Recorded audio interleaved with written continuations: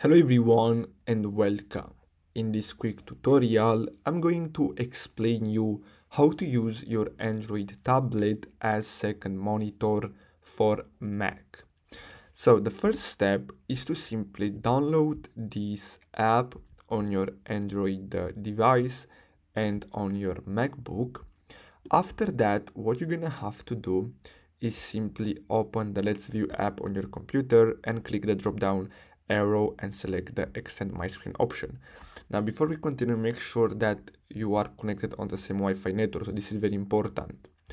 And then here you're gonna have to select extend my screen and then simply click on screen mirroring. Then you're gonna get the passkey. Now after that what you're gonna have to do is simply uh, simply enter the code on the Android app and that's all you have to do. So guys, I really hope you found this video helpful. Don't forget to like and subscribe. Thanks for watching.